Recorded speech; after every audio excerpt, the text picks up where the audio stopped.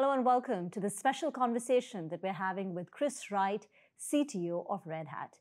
Now, Chris has been a technologist for the last nearly three decades. He's been the CTO of Red Hat for nearly a decade. He's seen many tech cycles, and he's here in Mumbai after more than five years for the Red Hat AI Summit. Chris, thank you very much for joining in. It just feels like it's all happening here in India. You're here after more than five years.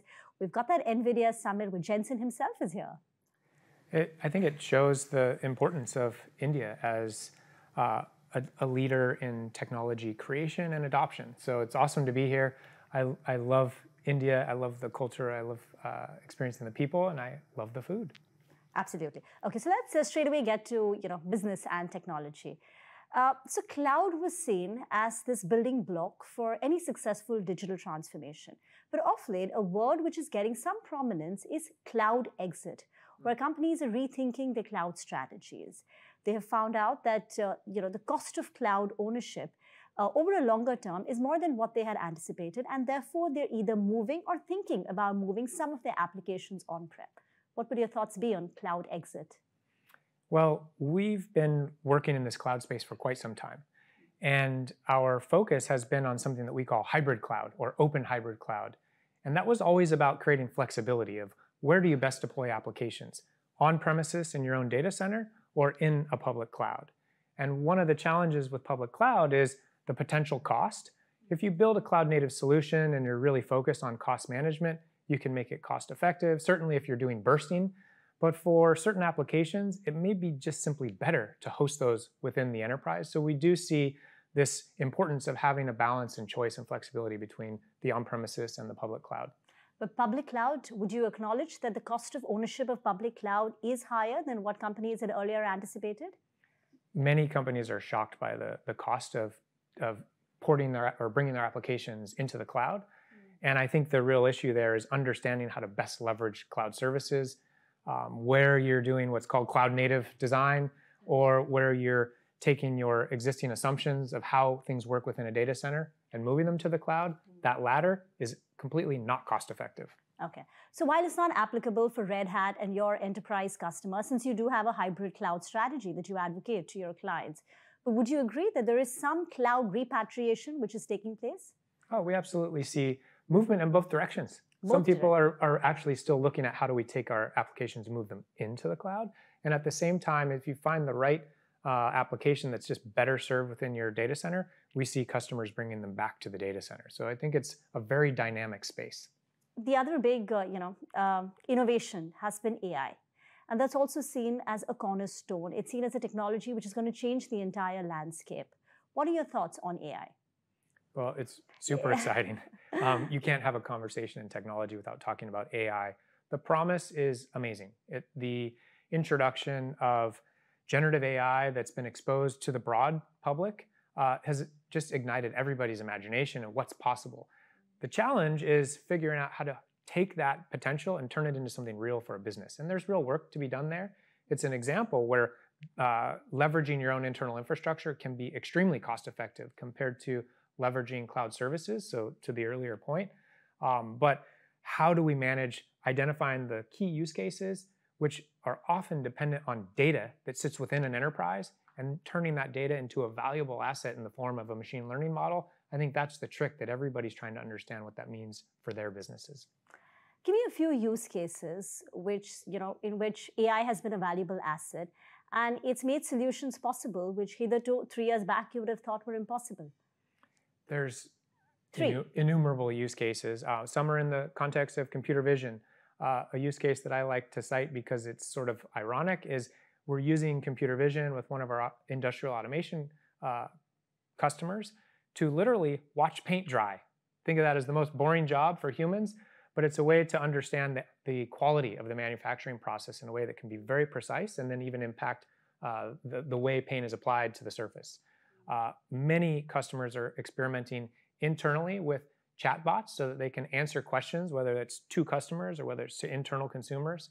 Uh, so an easy example that, that's accessible to many. Uh, we see it as a productivity improvement tool for all sorts of tasks. Uh, developers are looking at coding assistance.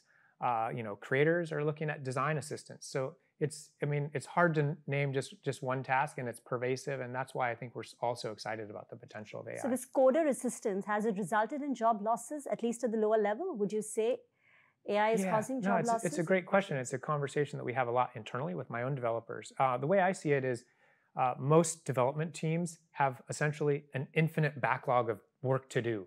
So being more productive doesn't mean we're eliminating jobs. It means we're enabling our teams to just be more efficient more. and yeah, get more. To do more with less. Yeah, yeah. Okay. What about generative AI? Since you spoke about chatbots, I think one of the most uh, pervasive uses of generative AI will be chatbots. So now we're in the second year of generative AI. So initially, whenever there is a new technology, uh, there is euphoria. The crowd rushes in, they gush over the potential, the risks, and then over a period of time, maturity sets in on what the technology can or cannot do. Where are we in the generative AI cycle? And do you think it's got the potential to change the world? Uh, to start backwards, I do think it has the potential to, to really fundamentally change the IT landscape. Mm. Uh, so we are in that the burgeoning part of the hype cycle, and then we have, you know, we drop into the trough of disillusionment. We're in that space where we're just starting to recognize what are the challenges and what are the potentials where, you know, how do we actually make this into real business outcomes? Mm. Uh, and what that means to me is I'm not a fan of the hype cycles because it's confusing for everybody. Everything suddenly is better, brighter, faster, improved. Let's get to what's real. What's and I real? really like grounding it in reality and having concrete use cases. And I think we're just transitioning from pure hype into those real, real use cases. So give me a few real cases, except chatbots. Give me a few more. Uh, well, one of the things that we're doing internally is using AI to improve the relationship between our customers and our knowledge base. So as they look for solutions to challenges with their, their systems that are built from our software, they search our knowledge base and then we use AI to re-rank the answer to give them the most prominent solution so they don't have to spend a lot of time sifting through all the details. And in fact, we also use that internally for our support engineers so they can create better support relationships with our customers. Uh, another example is how we do summarization. Uh, so in, in our context internally for support, we have these severe uh, severity, top severity cases where you have to follow the sun in order to keep the case uh, transitioning forward. Each one of those handoffs requires some summary. That summary is done by an engineer. It's a lot of effort. So if we can do that summarization with AI, we can have our engineers focus on solving the real problems, which is a great example of building efficiency and productivity. Fair enough. What about India? You started off by saying that India, in a way, has become the hotbed of innovation. Things are happening here. Tell us the importance of India, um, you know, in terms of innovation, in terms of um, you know leading and following technology, and even for Red Hat and its aspirations here. Yeah, well, we have offices right here in India. So we have a lot of engineering presence in Pune and Bangalore, uh, and relationships with universities to really bring the talent that's coming out of all the universities in India focused on technology, development, and data science into Red Hat to help us build and scale our own business. Uh, India is a great place for us where, where we do business at scale. So take, for example, the UPI initiative, which is establishing an, an identity for a one and a half billion people. Uh, operating at that scale, we learn a lot in terms of how we build and improve the scalability and performance of our software when we work with companies here in India. And it's not limited to the government, it's in financial services, it's in telecommunications. Every context, there's scale as a, as a critical aspect. Uh, and then I love the fact that um, that technical focus that comes out of the universities for the population of developers here in India is also excited about open source. So we see a lot of open source activities coming from Indian developers to global communities. In fact, when we host events here, they're huge and there's so much interest and enthusiasm around open source that you know we, we have all these different aspects. It's, it's our own business, uh, it's our own people, and it's connecting Indian developers to the broader global communities. So every time you visit a place, you come away with an impression about the place, a long lasting memory. In this trip, what would that be? Well, I was privileged enough to spend time with our office in Pune where we're celebrating our 20th anniversary. The thing that stood out is the passion, the enthusiasm, the potential. I mean, there's just a lot happening here, and our associates are tapped into all of that. And of course, there was a cultural vibrancy to the celebration, which was itself really fantastic. But it's that that passion, that enthusiasm, and the the hunger for opportunity that I, I really feel is is amazing here in India. Chris, enjoy your trip in India. Um, thank you very much for speaking with us. Thank you. Thank you.